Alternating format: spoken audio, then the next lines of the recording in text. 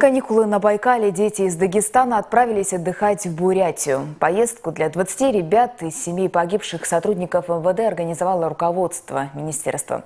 Фатимат Бурзиева с подробностями. Дети погибших сотрудников МВД Дагестана отправляются сегодня на летний отдых в Бурятию. Такое решение было принято руководством ведомства.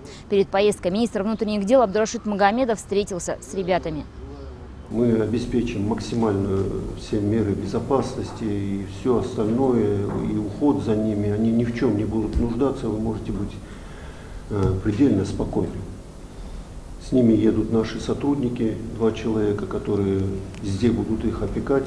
В том числе э, в городе Москве им организуют э, экскурсию, пребывание пока вот от рейса до рейса.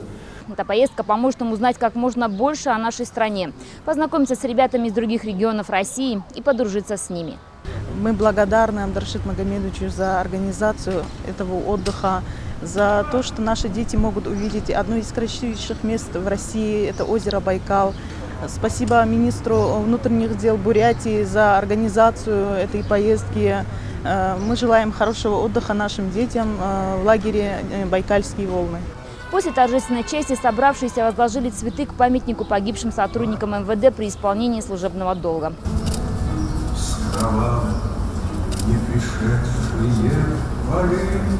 Детский лагерь находится на берегу озера Байкал. Здесь ребята проведут свои летние каникулы. Всего из Дагестана на отдых едут 20 детей. Патимат Бурзиева, Саид Кутиев. Время новостей.